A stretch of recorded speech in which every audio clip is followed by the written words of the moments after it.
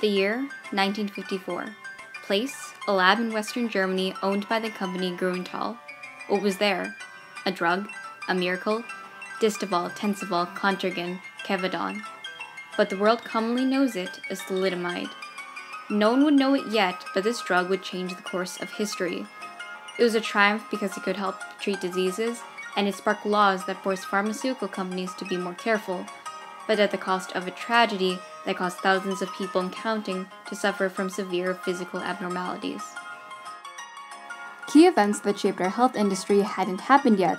This was a time before pill bottle murders, tamper proof seals, and cross contamination of heroin needles.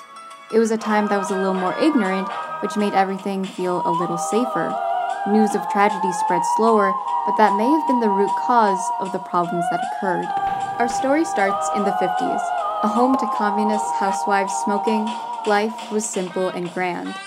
In the span of this decade, polio came, maimed, and left. The American Cancer Society found out smoking kills. The nation and the world seemed like it was improving, that the events of the war that occurred a decade before could finally fade. In 1957, thalidomide was sold in Germany under the company Grünenthal as various things, including anti-flu, a hypnotic, anti-nausea in pregnant women, all available without needing to be prescribed by a doctor. It was basically a miracle cure-all, or so they thought. In total, it was sold under over 40 names in countries including Japan, Germany, and Canada, and was marketed as a non toxic wonder drug for almost half a decade, from its first sales in Germany in 1957 to its eventual ban in Canada in 1962. Let's cut to the chase. What was so bad about a little pill? Thalidomide chemical formula C13H10N2O4 is a type of teratogen, meaning it can cause malformations in the fetus. Following experiments on chicks in the 90s, it was found it bites the protein cereblon while the fetus is still developing, thus inhibiting blood vessel formation and causing various side effects, including the fusion of bones in the arm, flipper like limbs that are connected at the torso, nerve injuries, missing fingers or toes, loss in senses, malformation of organs, or even death. Obviously, all of these are serious ailments, but at the time, no one knew that. Advertisers called it suitable for infants, the aged. German adverts even claimed it was the sleep aid of the century, not knowing the drug could cause serious harm that would spread in the years to come.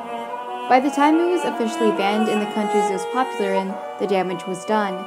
In total, about 10,000 to 20,000 babies were born with deformities, and countless others never made it past childbirth. But wait, how come so many in the US haven't heard of this? The US can thank one amazing lady, Dr. Frances Oldham Kelsey. Born in British Columbia in 1914, by 1960, Dr. Kelsey had gotten her PhD in pharmacology and was just starting to work for the Food and Drug Administration. A daring move, considering society at the time did not value women in STEM fields.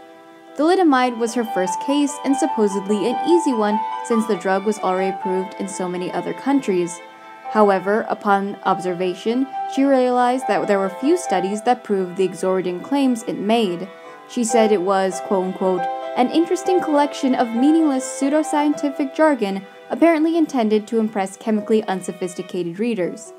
The facade was over. Through investigations, they found thalidomide as the cause of these abnormalities in babies, and the drug was quickly swept off the market.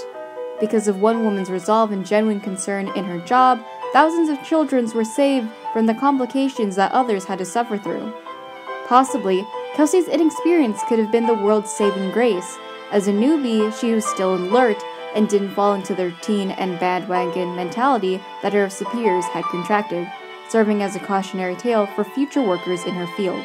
Shortly after this news was spread, President John F. Kennedy mandated Kefauver-Harris amendments that would make sure the U.S. quote unquote established a framework that required drug manufacturers to prove scientifically that a medication was not only safe, but effective, and awarded Dr. Kelsey the Distinguished Federal Civilian Service Medal, and she was promoted to the Chief of the Division of Scientific Investigations in the FDA.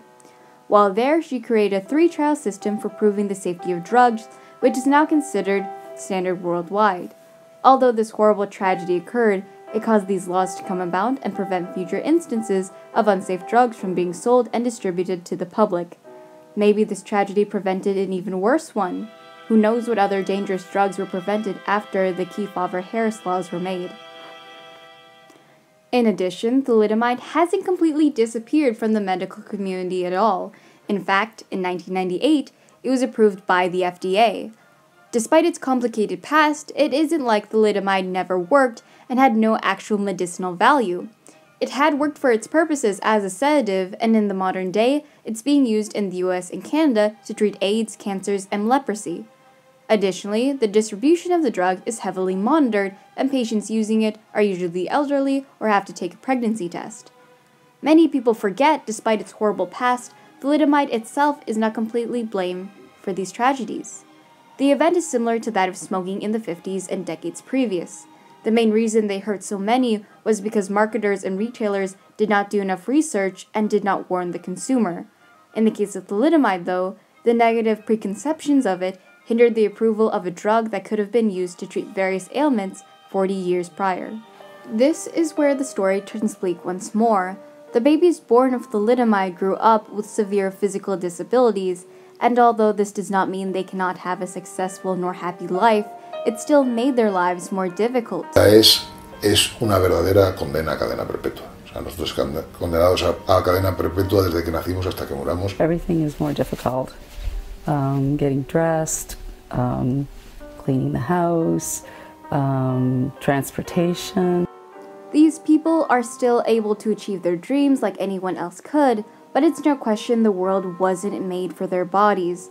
Daily chores and activities like making the bed, cooking, showering, using the bathroom are greatly affected by their condition and often make these simple chores seem much harder which isn't fair because their condition was preventable if people had just paid more attention for the concern of those affected. But thalidomide's babies haven't completely disappeared. In fact, there have been cases in Brazil and Latin America within the last two decades, and more that haven't been documented. This is because leprosy is a large problem in these areas, so thalidomide is heavily prescribed, which would not be a problem except that pregnant women are also taking the drug. Many Latin American countries are also still considered third world and often cannot provide the same handicap friendly features like that of their European counterparts. Therefore, the livelihoods of these children are likely going to be worse off compared to the original wave of thalidomiders. But what of the company that started all of this? What happened to the creator of this Catch 22? Well, it's still here. Grünenthal still sells medications. As of August 31st, 2012, they made their formal apology and have given people compensation to help pay for their medical expenses. But some say all of this came 50 years too little too late. Grünenthal pretends that there was no testing knowledge available at that time, which said that giving drugs to pregnant women could cause birth deformity. It was well known in the 30s and 40s and 50s that this could happen, and all reputable pharmaceutical companies a normal routine did this test to make sure that drugs would not affect the newborn fetus. If what these people claim are true, this company lied for half a century and caused a worldwide epidemic all over a little pill, and these people are still forgotten and neglected, no matter how much this company tries to apologize. And who could blame them? One day of an apology can fix a lifetime of health issues and odd looks. The case of thalidomide is an interesting one. You have two generations of people with extreme disabilities and handicaps, and they might not even be getting proper compensation. On the other hand, this tragedy was vital in preventing future ones to come, and the drug that started it all is still used as legitimate treatment for terminal illnesses. At the end of this case, it presents a utilitarian anomaly. Is the prevention and treatment of millions in the future worth the pain and struggles of thousands in the past. We can't say, but there is no doubt that the story of thalidomide is both a triumph and a tragedy.